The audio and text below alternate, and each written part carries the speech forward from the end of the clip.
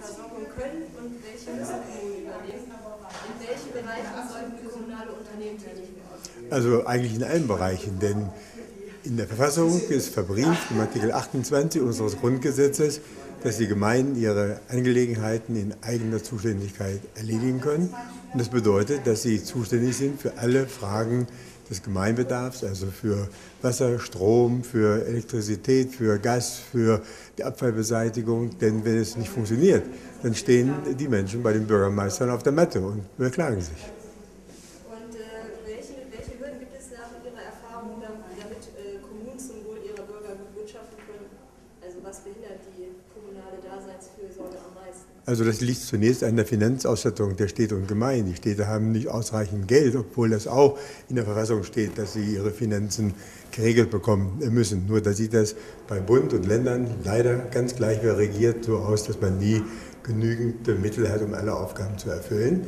Aber es kommt darauf an, dass die Gemeinden in ihrer Selbstfindung sich so organisieren, dass sie die Lebensqualität so schaffen, dass sich die Menschen in den Städten wohlfühlen. Okay. Ähm, in Ihrer Amtszeit ist es Ihnen ja gelungen, die kommunalen Wirtschaftsbetriebe zu erhalten. Und äh, ja, was haben Sie denen äh, begegnet, die immer nach Privatisierung gerufen haben? Ich glaube, dass viele Jahre, Jahrzehnte die Frage der staatlichen und der kommunalen Aufgaben sehr ideologisch betrachtet worden ist. Da gab es die Leute, die haben gesagt, die Privaten können alles besser und die Kommunen können das nicht tun. Das muss unter Beweis gestellt werden. Die entscheidende Frage war und ist, dass die Stadt selbst entscheiden muss, ob sie eine Aufgabe allein wahrnimmt, mit ihren Mitarbeiterinnen und Mitarbeitern, ob sie Eigenbetriebe gründet, ob sie Aktiengesellschaften gründet, die in kommunaler Hand sind, oder ob sie auch Aufgaben an Private abgibt. Das muss entschieden werden in der kommunalen Selbstverwaltung und wir haben sehr darauf geachtet, dass wir äh, für die wichtigen Aufgaben der Daseinsfürsorge auch äh, die Entscheidung hatten und die Hand drauf hatten. Alles klar, das war's. Okay, Dankeschön. Interviewpartner von RTL, der war also wird zwei Meter groß, der Oh, muss ja. sich hinkriegen bei mir. Genau. Das, das hat immer Vor- und Nachteile, ne? Okay. Ähm, Kommunen sind ja bedeutende Arbeitgeber, aber auf der anderen Seite sind viele von ihnen überschuldet und damit von Kürzungen im Personal auch bedroht.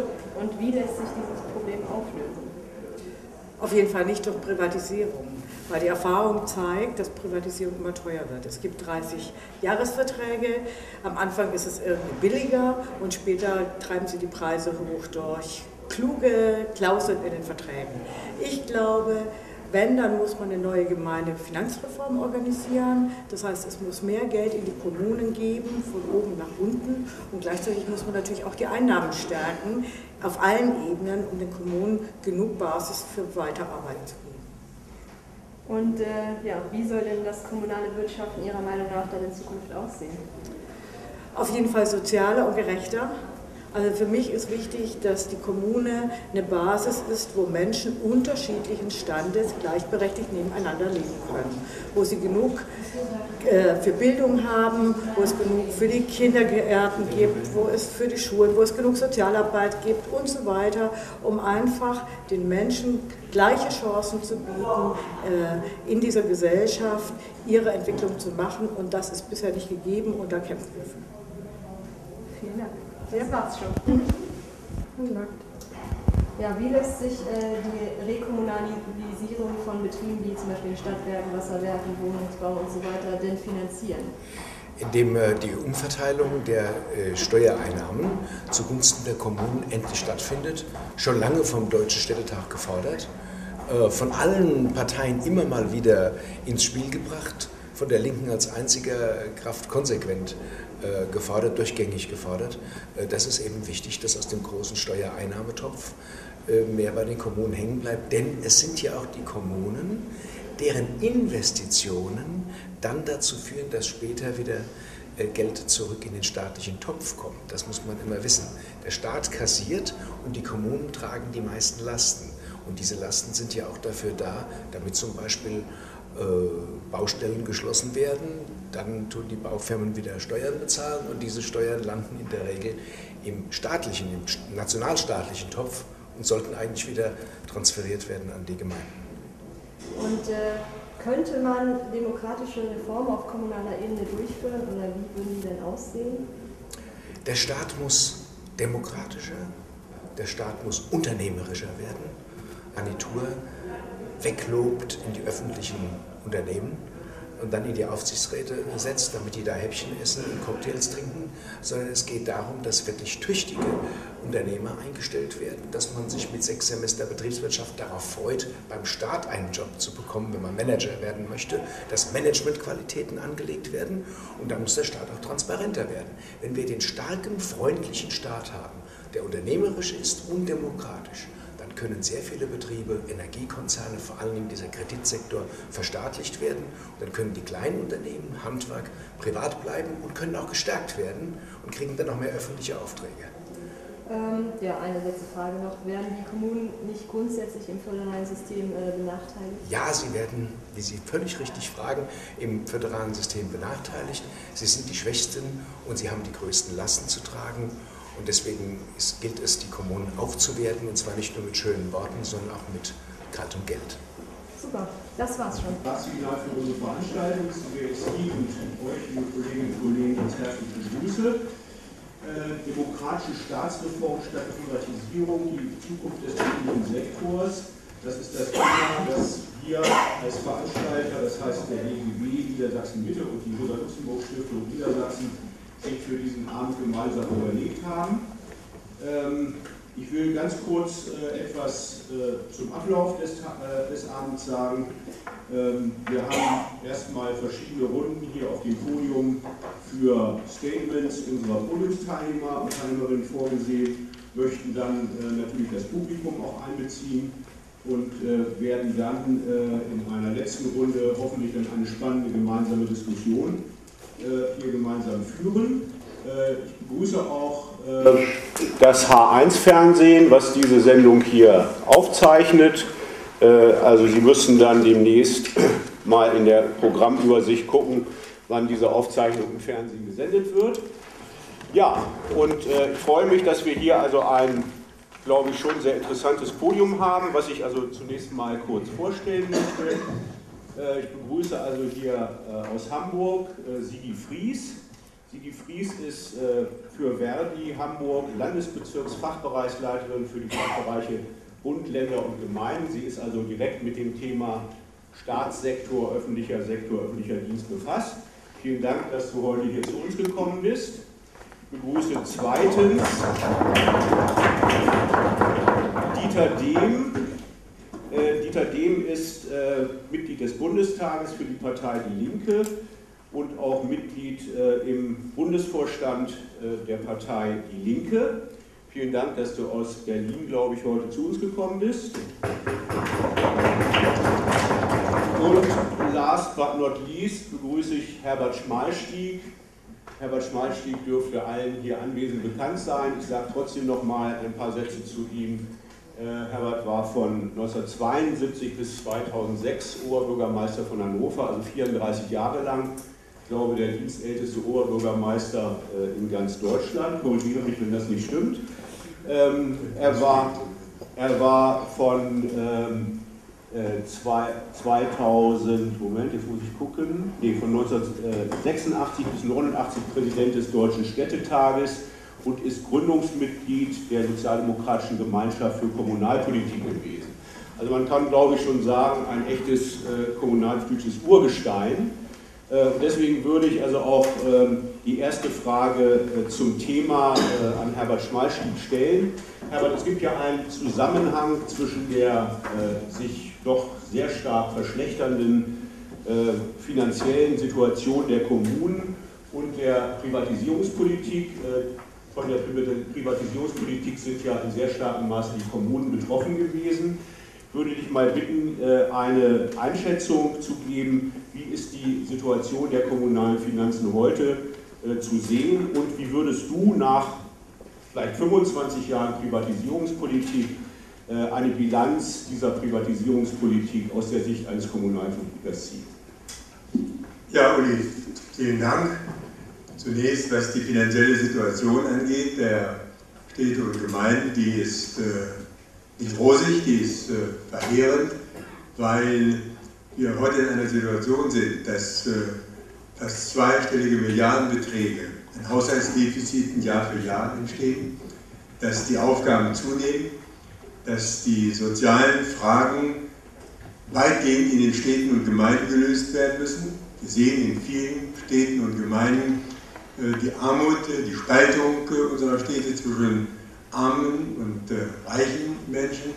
Wir haben es mit einer Situation zu tun, dass zwar im Augenblick die Steuereinnahmen wohl sich positiv entwickeln, aber es gibt ein sehr unterschiedliches Bild. Es gibt Städte, die, denen es finanziell relativ gut geht und andere Städte wissen, sie nicht, wissen nicht, wie sie ihre Haushalte ausgleichen können. Das gilt insbesondere für die meisten Ruhrgebietsstädte, die heute nur über Haushaltssicherungsgesetze arbeiten und praktisch äh, jeden Bleistift, den sie kaufen wollen, durch die Kommunalaufsicht genehmigt bekommen müssen.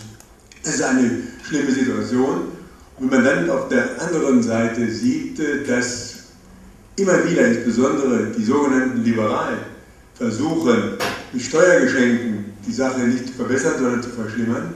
Zweitens, dass sie immer wieder versuchen, Hand anzulegen an die Gewerbesteuer. Das ist eine ganz äh, schlimme Sache. Gott sei Dank gab es, das muss man fairerweise sagen, die Zusage der vorigen Bundesregierung, aber auch der jetzigen Bundeskanzlerin, die gesagt hat, wenn die kommunalen Spitzenverbände nicht zustimmen, wird es keine Abschaffung der Gewerbesteuer geben.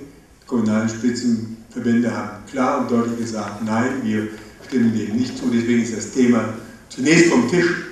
Man weiß nicht, was die Neoliberalen und Konservativen wieder auf äh, den Tisch legen, wenn sie, äh, was äh, man da nicht erwarten kann und nicht erwarten darf in absehbarer Zeit bei Wahlen, wieder zu Mehrheiten gelangen. Aber das ist die Lage, das ist die Situation in vielen Städten und Gemeinden. Nun ist ja über viele Jahre das Thema der Privatisierung als ein Heilmittel angesehen worden. Es gab die auch von den Medien weit verbreitet unterstützte Auffassung, äh, dass alles, was die Kommunen machen, was der Staat macht, ist schlecht, die können das nicht. Es gab sicherlich hier und da Versäumnisse, das will ich gar nicht äh, runterreden. Aber auf der anderen äh, Seite wurde gesagt, die Privaten können alles besser. Und das war ein entscheidender und ein verheerender Fehler. Und Gott sei Dank haben wir heute eine gewisse Renaissance, was die staatlichen Aufgaben angeht und was äh, die staatliche Ausführung von Aufgaben angeht, das gilt in ganz besonderer Weise für die Kommunen. Dabei ist es ja gar nicht äh, so weit her, wenn man die Geschichte betrachtet und schaut einmal in unsere Verfassung, Artikel 28 Absatz 2 unseres Grundgesetzes, äh, gibt es das Recht der Kommunen, alle Angelegenheiten der örtlichen Gemeinschaft in eigener Verantwortung zu regeln. Für mich war das nicht nur ein Recht, sondern wenn das so in der Verfassung steht, war das eine Pflicht, dieses auch entsprechend zu tun. Und äh, wenn man äh, über die Fragen der, des Gemeinwohls äh, nachdenkt und schaut mal in eine Länderverfassung, äh, bei der man das gar nicht erwartet, man schaut in die bayerische Länderverfassung zum Beispiel, da heißt es im Artikel 83, die Versorgung der Bevölkerung mit Wasser, Licht, Gas und elektrischer Kraft ebenso wie die Gemeindebetriebe, der Wohnungsbau, die örtliche Kulturpflege und Erwachsenenbildung, das örtliche Gesundheitswesen und die öffentlichen Bäder gehören in den eigenen Wirkungskreis der Gemeinde. Nun war das äh, nicht die Auffassung, äh, ich das so sagen darf, äh, der damaligen CSU, sondern der Högner, der sozialdemokratische erste Ministerpräsident, das war ganz kurz war in Bayern, der hat das als Verfassungsvater in die Verfassung in Bayern hineingeschrieben. Darauf muss man sich auch immer wieder berufen. Ich glaube, dass, äh, wenn ich von der Renaissance der Kommunalisierung äh, gesprochen habe, von Aufgaben, dass das mittlerweile auch die Menschen begriffen und kapiert haben. Wenn man äh, sieht, dass unsere neuen Freunde, der Oberbürgermeister von Freiburg, seine Wohnung verkaufen wollte, da gab es eine Abstimmung eine klare Mehrheit gegen den Wohnungsverkauf. Wenn man an Leipzig denkt, wo die Stadtwerke teilprivatisiert werden sollten, wo die Wohnung, die Baugesellschaft, das Klinikum, die Verkehrsbetriebe, alle anderen Betriebe äh, verkauft werden sollten, gab es bei einer Wahlbeteiligung von 41 Prozent äh, eine Mehrheit von 87 Prozent, die das abgelehnt haben. Das heißt also, dass die Menschen inzwischen schon wissen, dass Daseinsvorsorge etwas ist, was sie brauchen und was auch von Seiten äh, des äh, Staates, von Seiten der Kommune gemacht werden muss. Und schauen wir nach Italien, Nicht nur, dass der Berlusconi eine Klatsche bei der Atompolitik bekommen hat, sondern bei all den anderen Abstimmungen, auch der Abstimmung, äh, die, das Wasser zu privatisieren. 95 Prozent bei einer Beteiligung von, glaube ich, 57 Prozent, in Südtirol waren es, glaube ich, sogar 68 Prozent der Abstimmungsberechtigten, haben mit 95 Prozent gesagt, nein. Das heißt also, dass die Menschen inzwischen begriffen haben, dass wichtige Dinge, und dazu gehört das Wasser, dazu gehört die Elektrizität, dazu gehört äh, das Gas, dazu gehört der Wohnungsbau, dass das nicht in private Hände gehört, sondern dass das in die Hände der Kommunen gehört. Dabei muss die Kommune selbst entscheiden, wie sie das macht. Ob sie das mit den eigenen Mitarbeitern macht, ob sie Eigenbetriebe gründet, ob sie eine Aktiengesellschaft, eine GmbH-Rechtsform äh, wählt. Aber sie muss das Sagen dabei haben. Das ist das Entscheidende in all äh, den Fragen. Wir werden sicherlich das nachher noch in Einzelpunkten vertiefen können. Es gibt eine Reihe von Beispielen, wo es Privatisierungen gegeben hat. Ich nenne beispielsweise Schweden, wo man die Verkehrsbetriebe äh, privatisiert hat. Erst war das ein großer Erfolg, da gab es mehr Linien und da gab es auch günstige Preise. Innerhalb von kürzester Zeit gab es nur noch zwei Monopolisten, äh, die das sozusagen. Eine äh, englische Firma, eine französische Firma und es wurde schlechter mit den Linienverbindungen, es wurde eingestellt, es wurde gespart und, und, und. Und ich will jetzt gar nicht hier den Part Sie übernehmen, was die äh, Tarifverträge angeht, dass das natürlich eine moderne Form der Ausbeutung ist, wie dort die Mitarbeiter und Mitarbeiter oft äh, behandelt werden. Ein Sonderthema, über das äh, zu reden ist, weil es ja leider, gerade was den öffentlichen Personennahverkehr angeht, ja auch unterschiedliche Tarife gibt für das private Gewerbe und für das in öffentlicher Hand sich befindende Gewerbe. Also ich sage noch einmal, es ist heute, und wir können das an einer Vielzahl von Punkten hier aufzählen, Privatisierung äh, kann man nicht äh, von vornherein sagen, ist das was Schlechtes, aber es kommt darauf an, dass die Entscheidung bei den Städten und Gemeinden ist und es kommt darauf an, dass in den wichtigen Fragen wir auch äh, die Verfügungsgewalt über diese Aufgaben behalten. Also es geht vor allen Dingen auch dabei darum, dass wir bei der Daseinsvorsorge nicht eine Unkenntlichkeit, Unerkenntlichkeit hineinkommt, dass wir nicht in eine Situation kommen, dass sich äh, die politische, demokratische Verantwortung unterordnet marktradikalen Ideologien und diese dürfen das nicht ersetzen, was äh, von Seiten des Staates Aufgabe letztlich auch des Staates ist. Ja, vielen Dank für dieses einleitende Statement, Herbert Schmalstieg, äh, zur Sichtweise aus äh, Sicht der Betroffenen, der Beschäftigten, äh, wird Sigi Fries als Gewerkschafterin uns gleich sicherlich noch was sagen. Äh, ich würde aber gerne erstmal Dieter Dehm eine Frage stellen.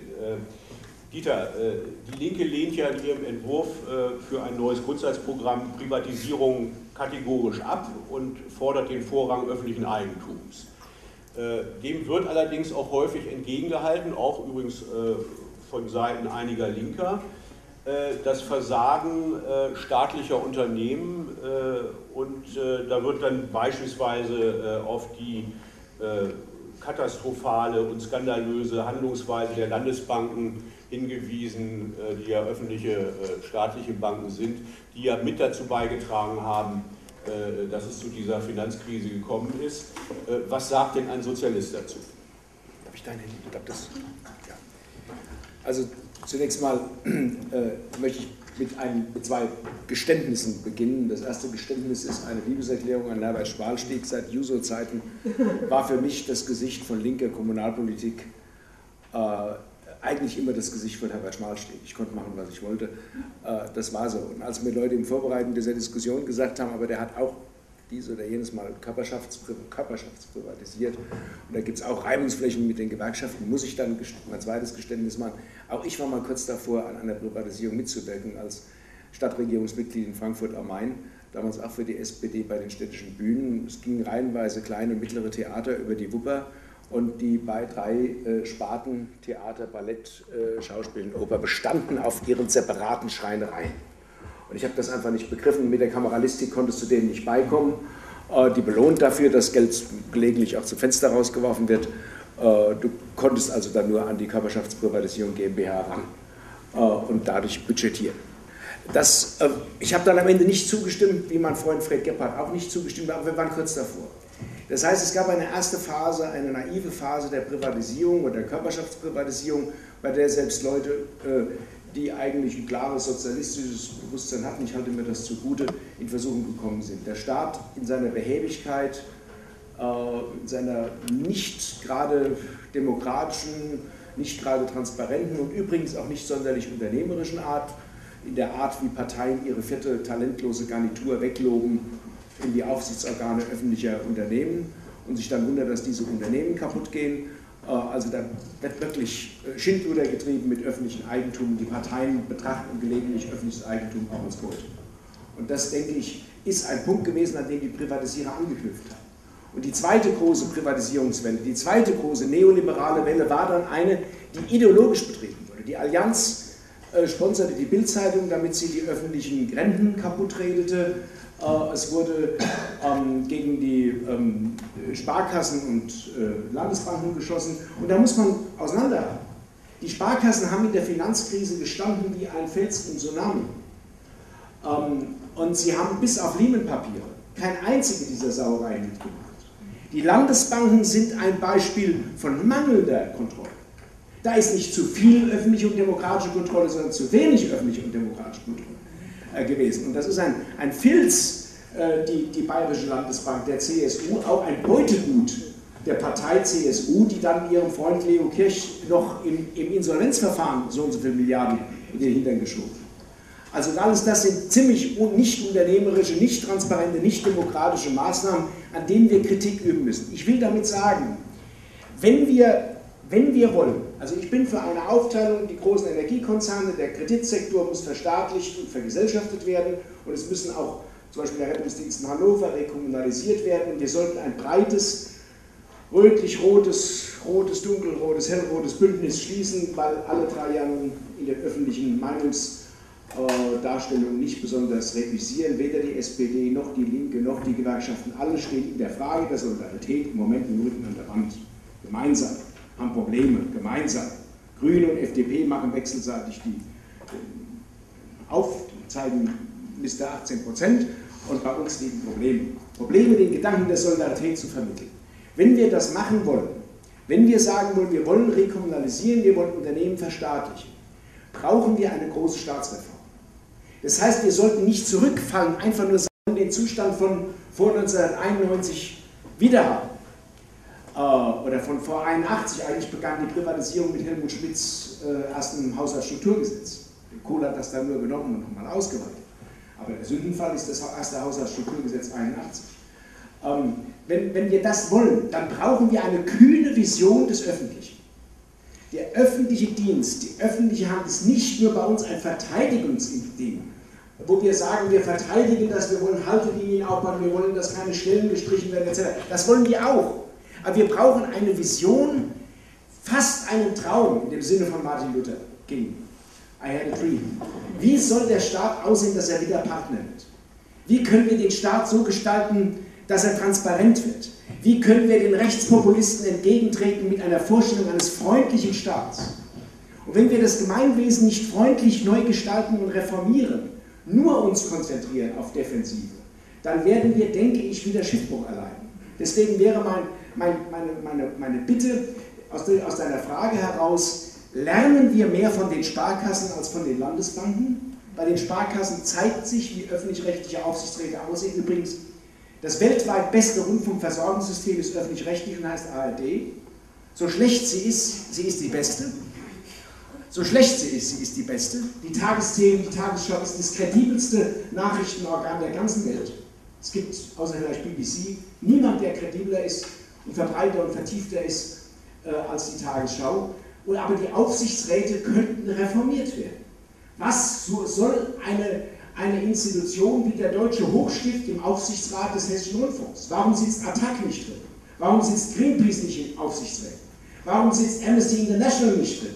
Also wir haben doch gesellschaftliche Träger, die modern gewachsen sind, die endlich reingehören. Wir brauchen eine Debatte über die Demokratisierung des Öffentlich-Rechtlichen mit kühnen Visionen und dann werden wir, denke ich, auch den Rechtspopulisten und den Neoliberalen äh, in dem Sinne, die, die Herbert angesprochen hat, äh, ähm, das, das öffentliche Heft aus der Hand nehmen. Und dann wird auch diese Offensive der Umfragen dass man in verschiedensten Städten jetzt mittlerweile sieht, äh, es geht eben öffentlich besser, wird auch diese noch vertiefter und verbreiteter stattfinden. Du hast ja jetzt schon ein bisschen vorweggenommen, was wir eigentlich in der zweiten Runde machen wollen. Ähm, wir werden das also dann noch vertiefen. Äh, ich wollte aber jetzt noch erstmal äh, Sigi Fries, die lange genug gewartet hat, ähm, jetzt die Gelegenheit geben, mal aus der Sicht äh, einer Gewerkschafterin, die tagtäglich ja mit diesem Thema auch zu tun hat. Äh, und ich denke mal, Hamburg ist da auch nicht anders als andere Bundesländer, auch wenn es sozialdemokratisch meistens regiert worden ist. Ihre Erfahrung mit Privatisierungspolitik, und zwar unter zwei Aspekten zu skizzieren. Einmal, wie hat sich Privatisierungspolitik deiner Meinung nach oder aus eurer Sicht auf die Beschäftigten ausgewirkt? Und der zweite Punkt, den ich glaube auch sehr wichtig finde, äh, auf die Qualität öffentlicher Dienstleistungen. Nee, nee, das geht schon. Ich wollte eigentlich erstmal ganz anders anfangen, weil ich weiß nicht, ob es euch genauso geht, aber wenn wir jetzt die Tage immer Griechenland sehen, mhm. dann erleben wir mittlerweile dass sich das neoliberale Wirtschaftssystem durchgesetzt hat in allen EU-Ländern ohnesgleichen und dass die im Prinzip mittlerweile versuchen, Staatsgebilde und Staatswesen zu bestimmen, egal wie wir darüber denken, aber sie entscheiden jetzt, das muss so und so laufen, die müssen verkaufen, die müssen ausverkaufen und äh, für mich ist damit auch natürlich die Gesellschaftsform, wo es um Gerechtigkeit etc. geht, in Frage gestellt. Ganz europäisch insgesamt. Und es ist sozusagen für mich ein Höhepunkt des Verkaufs staatlicher Angebote, staatlicher Organisierungen, Vergesellschaftungsorganisierungen. Und das haben wir die letzten 30 Jahre erlebt, dass immer mehr sozusagen der öffentliche Dienst ausverkauft wurde, ob es Wasser ist oder Schulen oder sonst was alles, wurde praktisch dem Markt zur Verfügung gestellt. Und äh, wenn es so weitergeht, ist es wirklich so, dass Ratingagenturen und Börsen bestimmen, wie Staatswesen auszusehen hat. Also ich finde, das ist eine hohe Gefahr. Äh, in Deutschland haben wir erlebt, dass äh, die eigentlich später dran waren und mittlerweile es trotzdem geschafft haben, über 30 Prozent der direkten äh, Demokratie zu entziehen indem sie es eben ausgegliedert haben, privatisiert haben, äh, Private-Public Partnership gemacht haben und so weiter. Also da gibt es irgendwie tausend verschiedene Formen. Und gleichzeitig haben sie in diesem Zusammenhang ein Drittel der Beschäftigten, die in allen öffentlichen Dienstbereichen, in allen Körperschaften, ob Bund, Länder oder Gemeinden arbeiten, haben sie auch aus dem originären öffentlichen Dienst entfernt. Äh, das ist entweder passiert, dass man irgendwie Abbaugeschichten gemacht hat oder man hat sie wirklich ausgelagert. Äh, was bedeutet das für die Beschäftigten? Das war ja dann die Frage an mich. Für die Beschäftigten bedeutet das, äh, dass sie mittlerweile nicht mehr der Beamte sind, wie es sozusagen als Vorurteil heißt in der Bevölkerung, der irgendwie auf seinem Sessel sitzt und irgendwie wartet, bis die Pension eintritt, sondern dass die Beschäftigten mittlerweile genauso verunsichert sind wie in allen anderen Betrieben. Ich war heute früh noch ähm, auf einer Teilpersonalversammlung von Schulhausmeistern und Betriebsarbeitern in den Schulen. Und da wurde auch deutlich, die haben schon wieder Angst, wird die nächste Marche ausgegliedert, was bedeutet das, sind wir betroffen, sind wir nicht betroffen.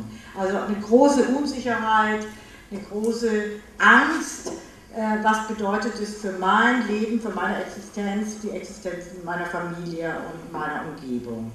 Ähm, wenn dann so Privatisierungen passieren, gibt es sozusagen oft Vorfeldgeschichten, die auch diese Unsicherheit verstärken. Das sind erstmal die verschiedenen Umstrukturierungsmaßnahmen. Also das heißt, der öffentliche Dienstarbeitgeber behauptet, der öffentliche Dienst würde nicht genug wirtschaftlich arbeiten. Also in, das ist egal, ob das CDU oder SPD an der Regierung sind oder Linke in Berlin. Äh, sagen Sie, der öffentliche Dienst würde das nicht richtig machen.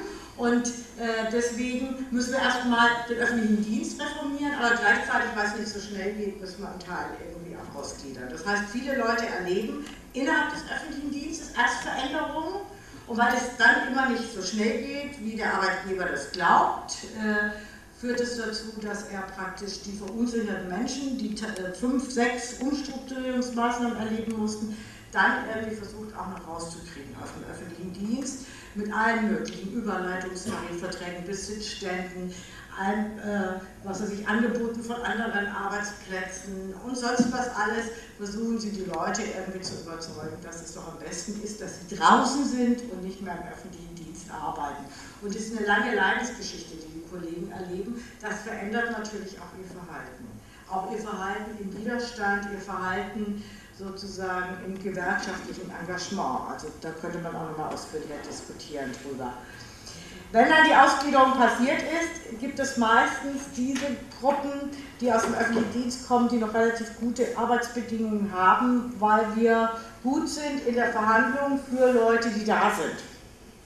Da gibt es ganz gute Bedingungen, äh, aber für die Neuen ist es oft eine absolute Katastrophe, weil da gibt es oft für die, für die, die übergehen. Tarifverträge für die Neuen gibt es gar keine mehr oder es gibt schlechtere, es gibt schlechtere Löhne. Das ist ja der Sinn und Zweck. Sie wollen ja, Sie sagen ja, der Privat wäre billiger und die einzige Schraube, die Sie oft drehen können, ist erstmal beim Personal und bei den Löhnen.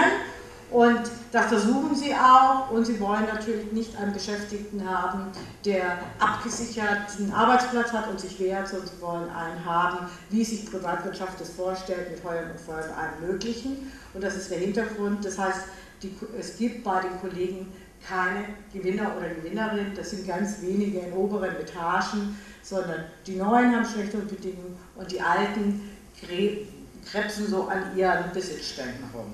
Also eine Katastrophe für die Beschäftigten und äh, jetzt kommen wir zur Qualität. Und qualitätsmäßig sagen die Kollegen selber auch, zumeist eine Verschlechterung. Das kann man nicht für alle Bereiche sagen. Da hat äh, Dieter ja auch angesprochen, es gab die ersten Großprivatisierungen, äh, wo Energie oder äh, andere Bereiche wie Wohnen sozusagen erstmal unheimlich viel Geld reingebuttert wurden und Verträge mit diesem Privatunternehmen abgeschlossen wurden, dass äh, am Anfang eine Qualitätsverbesserung da war. Das war ja sozusagen der Sinn und Zweck, um Qualitätsverbesserungen irgendwie zu entwickeln.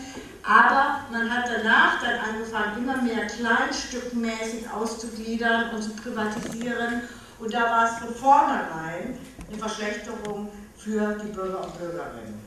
Da gibt es viele Beispiele bei uns in äh, Hamburg, aber woanders auch, wo dann auf einmal die Schulterberatung nicht mehr so angeboten war, wo Beratungsangebote nicht gab, gerade in sozialen Bereichen, wo Jugendzentren äh, gekürzt wurden, Bäder zugemacht wurden und so weiter und so fort. Also da gibt es wahnsinnig viele, gerade in diesen kleinen Bereichen, wo die Qualität immer mehr abgenommen hat.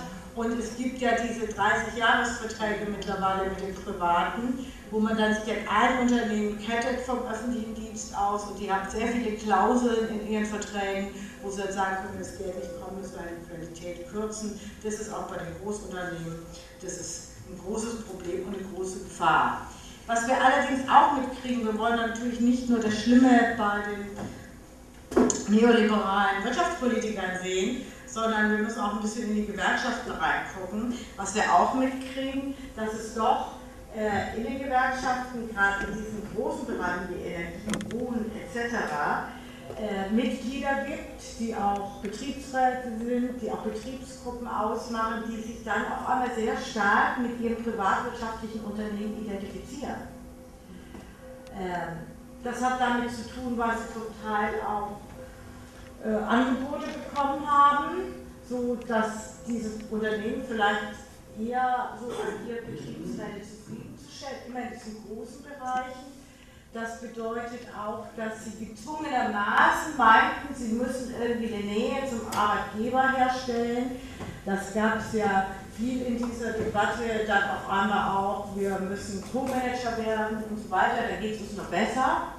Und äh, das merken wir zum Beispiel jetzt in Hamburg, da gibt es eine Initiative von äh, allen Umweltverbänden mit Kirche und Sozialverbänden, dass die Energie wieder verstaatlicht wird unter anderen Bedingungen, also gesellschaftlich anderen Bedingungen. Und äh, da gibt es gerade die Betriebsräte aus diesen großen Unternehmen wie Vattenfall und E.ON, die sich dagegen wehren, weil die sagen, privat ist besser. Also da müssen wir, glaube ich, auch noch ein bisschen dran arbeiten, dass es nicht nur darum geht, was die bösen Unternehmer machen. Und zum Schluss kann ich auch sagen, wichtig ist, glaube ich, auch, dass wir eine Diskussion führen müssen, wie soll eigentlich Staat und staatliches Handeln in Zukunft aussehen. Das haben alle beiden hier schon gesagt. Das ist, glaube ich, eine wichtige Debatte, weil viele Menschen schon das Gefühl haben, Staat ist mittlerweile negativ und da müssen wir erst werben für, was wir für einen Staat uns vorstellen.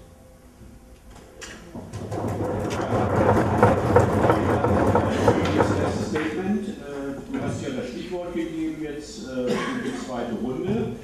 Ähm, ich will es mal äh, als Frage folgendermaßen formulieren. Also was gehört auf die politische Agenda für demokratische Reformen des Staates und des öffentlichen Sektors?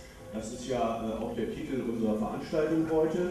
Und ich würde jetzt unsere drei Gäste einfach mal bitten, dass sie unter dieser Fragestellung äh, zwei oder drei Punkte in einem überschaubaren äh, Statement, also vielleicht nicht länger als zehn Minuten, wenn das möglich wäre, zwei bis drei äh, äh, politische Forderungen oder vielleicht auch Ideen in politisch-rechtlich-ökonomischer Hinsicht äh, hier vortragen, die Ihnen besonders am Herzen liegen. Und äh, würde jetzt mal in umgekehrter Reihenfolge vorgehen, erstmal Herbert Schmalstieg, dann die Fries und zum Schluss Dieter Ding.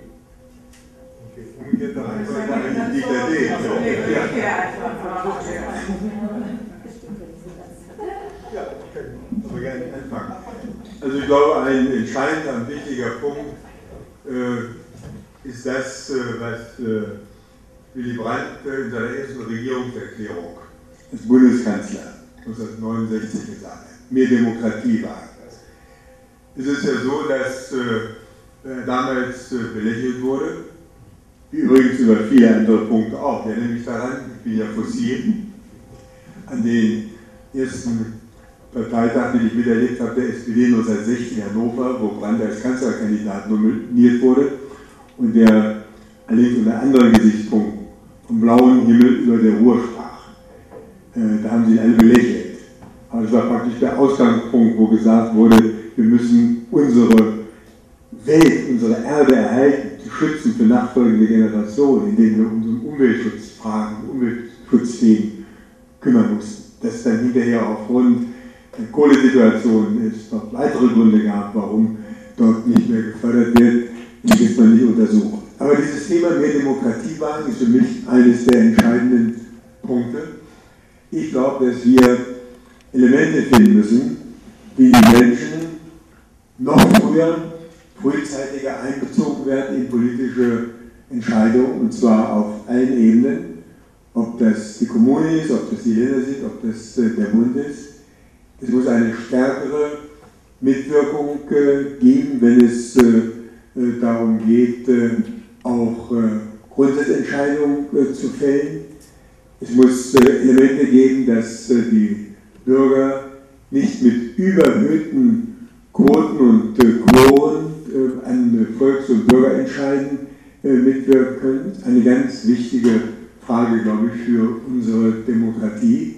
Wenn wir eine stärkere Mitwirkung der Menschen schaffen, glaube ich, werden wir auch wiederum eine stärkere Beteiligung an Wahlen finden.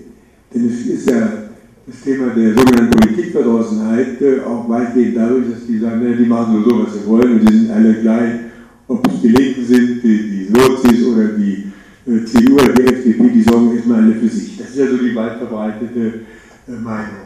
Und dem kann man, glaube ich, äh, sich widersetzen, wenn es hier andere Formen der direkten Demokratie gibt.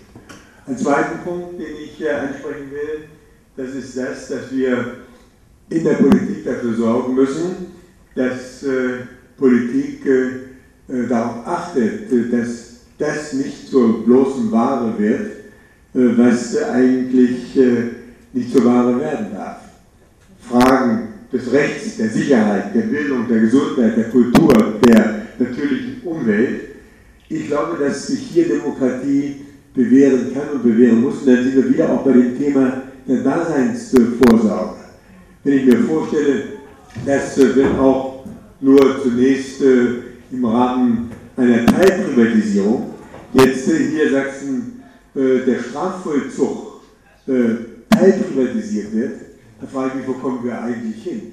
Das gilt für viele andere Fragen auch. Und deswegen brauchen wir nicht weniger Staat, sondern wir brauchen mehr Staat. Nun bin ich nicht, äh, vielleicht kommen wir da hin oder drauf, äh, wie Dieter der Meinung, dass man äh, die Banken verstaatlichen muss.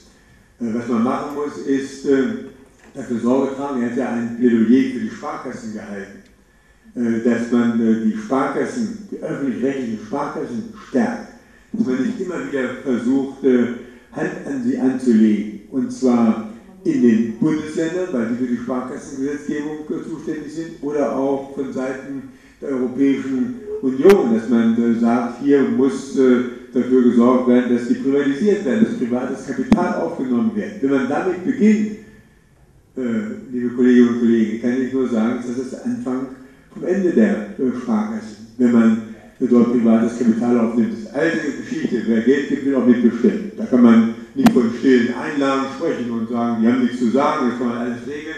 Das ist nur, wäre nur eine Übergangszeit. Und wie sehen, unsere, wie sehen unsere Städte aus?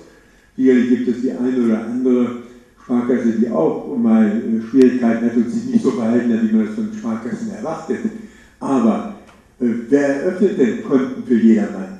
Wer engagiert sich denn in der Kultur, im Sport, äh, direkt oder durch Stiftung? Das sind doch unsere Sparkassen und vieles, vieles andere, was sie mir machen. Das heißt also, wir müssen sehen, wie wir das, was dort bisher öffentlich-rechtlich ist, dass wir das auch entsprechend stärken und ausdrücklich sagen, dass sich auch ordentlich verhält, das sind die Volksbanken und Raiffeisenkassen. Also ich bin immer der Meinung gewesen, dass diese beiden Sektoren, Volksbanken und Reifenkassen, für die Sparkassen dann äh, bin, sage ich das äh, neidlos, und die Sparkassen. Das sind die Säulen unseres Kreditwesens.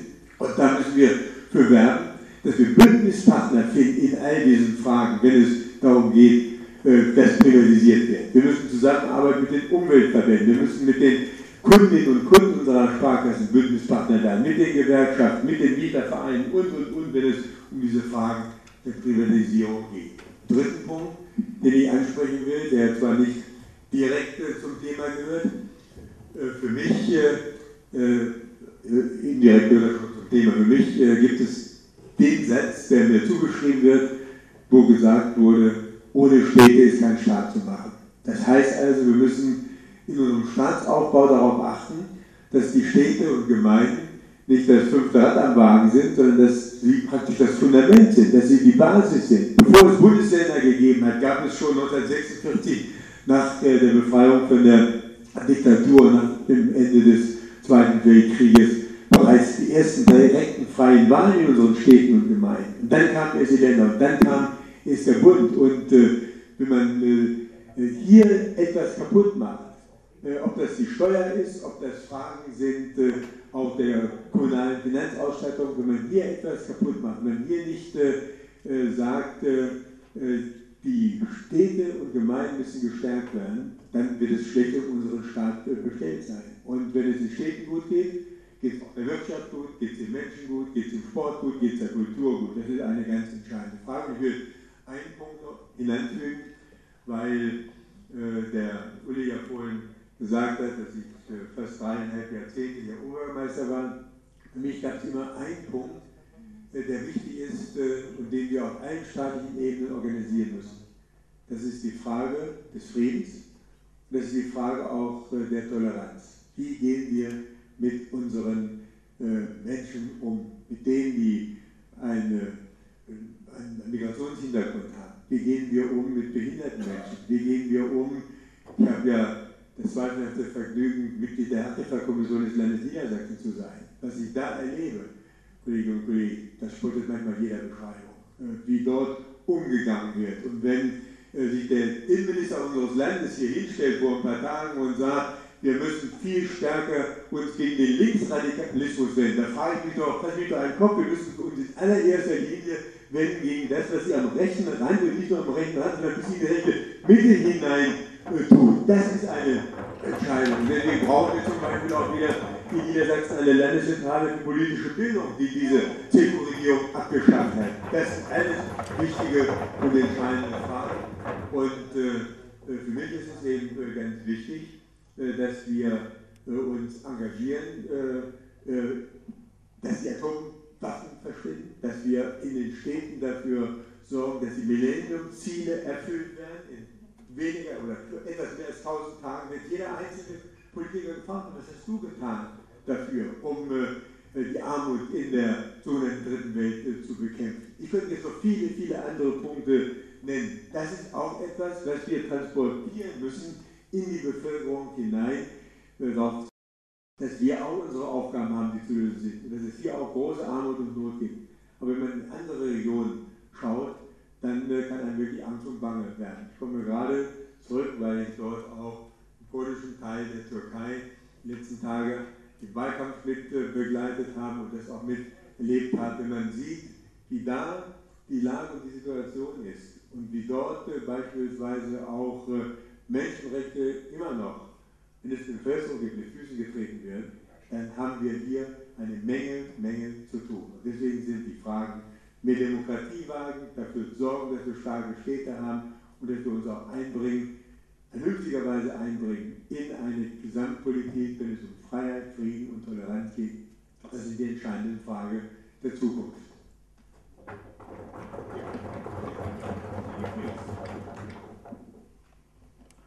Also mein großer Traum oder mein großes Ziel ist, dass dieses neoliberale Wirtschaftssystem nicht das Ende aller Systeme ist für uns, sondern dass es sich irgendwann mal vielleicht dann auch erledigt.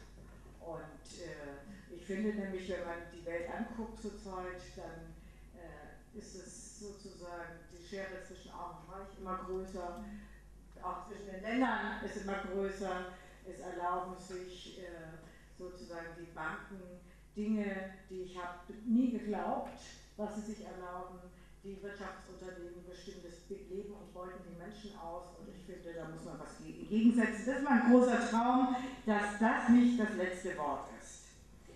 Auf dieser Grundlage gucke ich natürlich immer, was muss man ganz konkret machen äh, und wo sind die richtigen Wege dahin. Da hat Herbert mit mehr Demokratiewagen ein großes Thema angesprochen.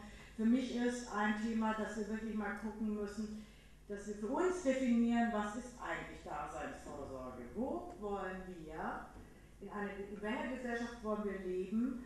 Was muss sozusagen ausgleichend für die Menschen da sein? Wie soll ein Staat aussehen? Gehört Pflege dazu? Gehört Umwelt dazu? Gehört äh, Bildung dazu? Gehört Soziales? Für mich gehört das alles dazu. Aber wie gehört es dazu? Wie soll es organisiert sein? Wer soll es machen? Wer soll die Angebote organisieren? Was brauchen die Menschen? Was für Bedarfe haben sie? Ähm, wir kriegen ja gerade mit, dass auf uns zurollt ein großes Pflegeproblem und äh, dass sie gerade die alten Menschen immer mehr verarmen. Was, was ist da für uns der Standard? Wie sollen die Menschen leben? Sollen sie eine Mindestrente bekommen? Das müssen wir alles, glaube ich, auch stärker miteinander diskutieren und stärker definieren. Im Moment leben wir davon, dass wir uns wehren. Wir wehren uns gegen Rente mit 67, wir wehren uns gegen noch mehr Abbau, wir wehren uns gegen noch mehr Verschlechterung der Bedingungen in der Pflege, gegen was weiß ich, Wasserverkauf oder sonst was alles. Aber wir müssen, glaube ich, ein bisschen mehr Engagement wieder reinhängen. Was wollen eigentlich wir? Was wollen wir, die fortschrittlichen Kräfte? Wie soll Daseinsvorsorge aussehen? Weil wenn man das nämlich formulieren kann, dann gewinnt man auch Menschen eher für eine Alternative, als wenn man nur sozusagen in der Gegenhaltung lebt. Ich weiß, dass es schwierig ist. Ich weiß, das ist an jedem einzelnen Punkt kompliziert, aber es ist ja für mich ein wichtiges Herangehen dran, da nochmal stärker untereinander zu diskutieren. Und das Zweite ist natürlich, wenn ich mir die Beschäftigten-Situation angucke, ist grundsätzlich mein Interesse, dass alle Menschen, die arbeiten können und möchten, Arbeit bekommen und dass der öffentliche Dienst, also gerade dieser Bereich, den ich gerne ausbauen möchte, dass der ein Vorbild ist. Und dass es wichtig ist, sozusagen, dass die Arbeitsbedingungen überall auch so organisiert sind, dass die Menschen davon leben können, dass sie sozusagen jeden Tag Angst um ihren Arbeitsplatz haben müssen und nicht jeden Tag irgendwie Angst haben müssen, dass immer wieder was abgebaut wird.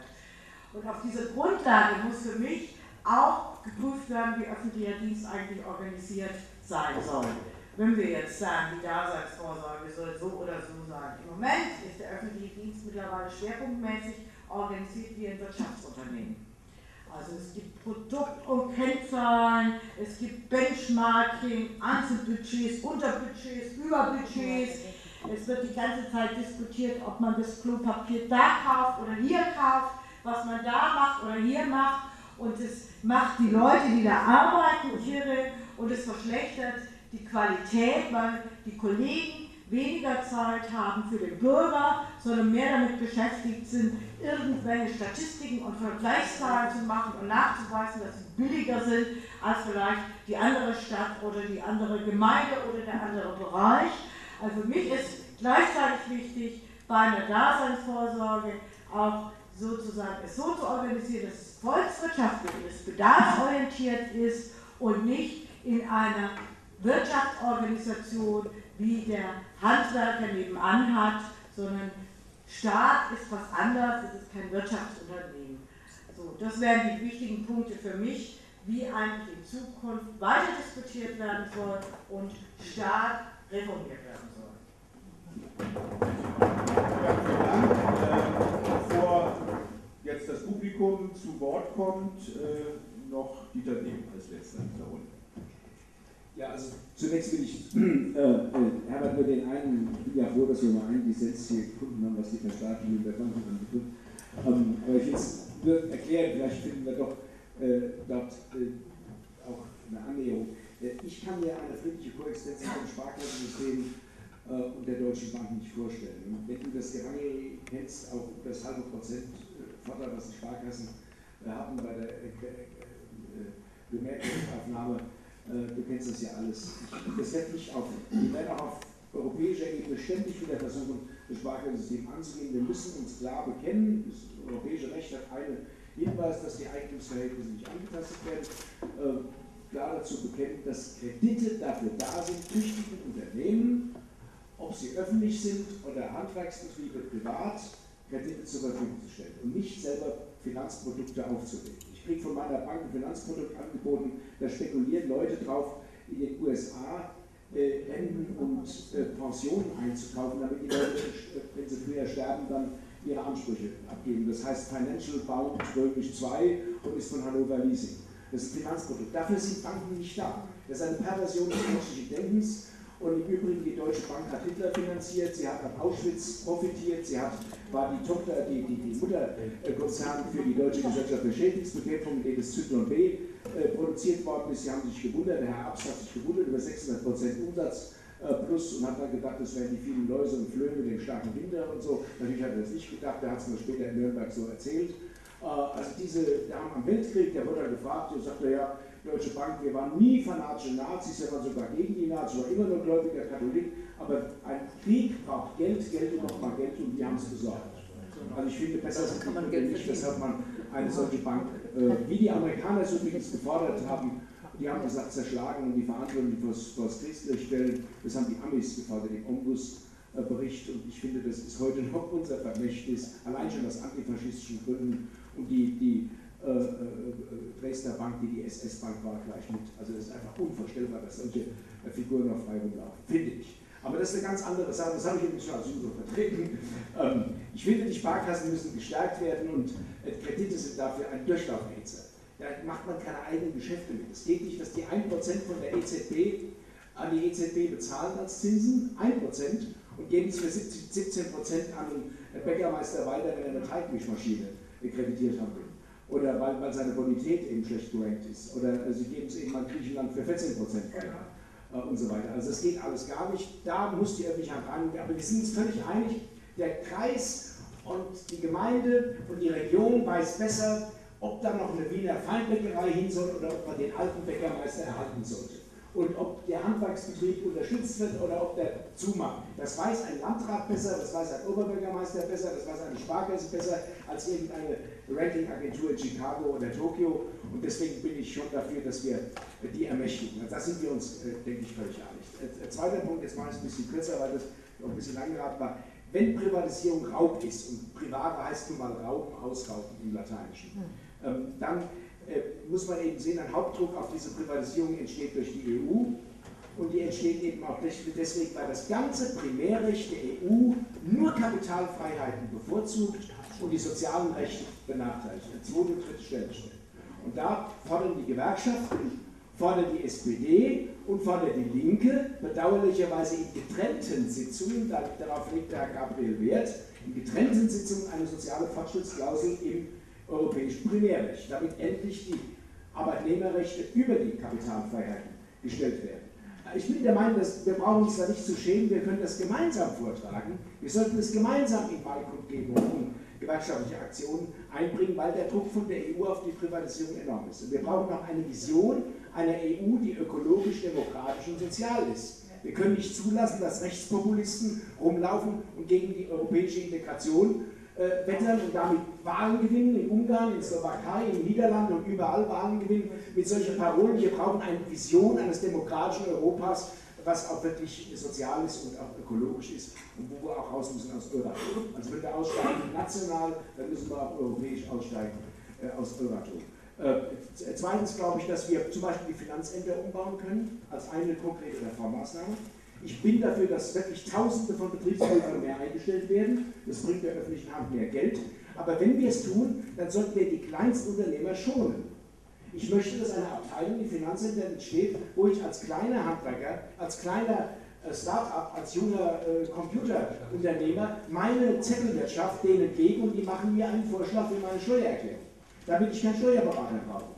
Und dann kann ich das zustimmen nach vier Wochen oder nicht zustimmen. Ich bin nicht dafür, dass irgendein Zwang weniger ist. Die, die, die Finanzämter sollen ruhig den Zwang beibehalten. Aber ich bin auch dafür, dass man eine Offensive startet, dass die Finanzämter nicht mehr das schlechte Image der Stasi haben, sondern wirklich jeder weiß, ohne starke Finanzämter gibt es keinen starken Staat und ohne einen starken und freundlichen Staat werden auch unsere Wünsche nicht wahr. Und deswegen braucht man eben mehr Steuereinnahmen und braucht eben auch mehr äh, Betriebsprüfer, aber mal Großbetriebsprüfer. Das Ding ist ja in Frankfurt hat die Deutsche Bank 14 Jahre keine Betriebsprüfung, weil sich das Land Hessen auf offene Märkte hinstellt und sagt, ja bei uns können alle Banken sich ansiedeln, wir haben überhaupt keine Großbetriebsprüfer. Da gibt es auch keine Großbetriebsprüfer. Die haben 14 Jahre am Stück keine Großbetriebsprüfung gehabt. Äh, das ist die Realität, das sind die Zahlen. Und dann haben wir den Mittelstandsbauch und die kleinen und mittleren. 200 Jahre. Und, und, also das muss man alles mal reintun. Äh, das denke ich ist, also die Finanzämter umbauen, ausbauen, aber auch reformieren, damit die Kleinunternehmer, die Kleinstunternehmer die Angst vor dem Fiskus verlieren. Das ist auch ein Stück, wo man aufpassen muss. Wir haben viel Unsinn mit den Kleinunternehmern als Linke betrieben. Wir haben auch in der Weimarer Republik viel Unsinn betrieben und äh, den rechten Jahres in die Küche getrieben. Man muss auf die kleinen Handwerksbetriebe besonders Acht geben dass man da nicht die vergleicht mit der Deutschen Bank und mit, mit E.ON oder mit Großkonzernen. Das ist ein himmelweiter Unterschied. Und, und der letzte Punkt ist, ich finde, wir sollten die Genossenschaften wieder aufwerten. Ich finde, die sind unter die Räder gekommen. Genossenschaften sind eine wunderbare Sache. Da wird viel zu wenig drüber geregelt. Und die Genossenschaften haben eine Reform, eine, eine, eine Reformperspektive, die jetzt sehr viele Probleme in diesem Land lösen könnten, wenn wir uns wieder den Genossenschaften etwas mehr äh, zuwenden können. Also mit einem Wort, es gibt eine Menge Dinge, äh, die ich mir vorstellen kann auf deine Frage, wo wir den Staat reformieren, freundlicher gestalten, bürgernäher gestalten, ohne eine Perspektive des Staates. In dem Sinne werden wir die Rechten nicht aufhalten, werden wir die Neoliberalen nicht aufhalten. Und was der Staat vielleicht auch sich verkneifen sollte, wäre in jeder Frage immer gleich zu verbieten. Also ich muss, muss ehrlich sagen, einerseits lässt man den Banken den blauen Himmel, da passiert überhaupt nichts. Jeder weiß, die haben die Möglichkeit, mit einem Fingerschnitt Tausende von Menschen tot zu machen, Hunger über die Menschheit zu bringen und alles Mögliche. Und andererseits kommt jetzt der hessische Innenminister Boris Rhein und möchte Alkoholverbot in Staaten. Und ich kann mir gut vorstellen, einen linken Landesparteitag, wo ich dafür Beifall kriege. Kann ich mir gut vorstellen. Ich kann mir auch einen SPD-Parteitag vorstellen, wo ich dafür viel Beifall bekomme. Ich finde das ein völligen Irrsinn dass wir ständig darüber nachdenken, wie wir den kleinen Leuten noch mehr Verbote draufdrücken und die Banken machen weiter wie bisher. Man muss das umdrehen. Wir müssten den Leuten zeigen, dass wir nicht ständig den Kleinen an die Klicker wollen, sondern den Großen, weil dort ist der Hauptbedarf und das sind mittlerweile diejenigen, die am meisten sich asozial betätigen, nicht der Hartz-IV-Empfänger, sondern die Deutsche Bank.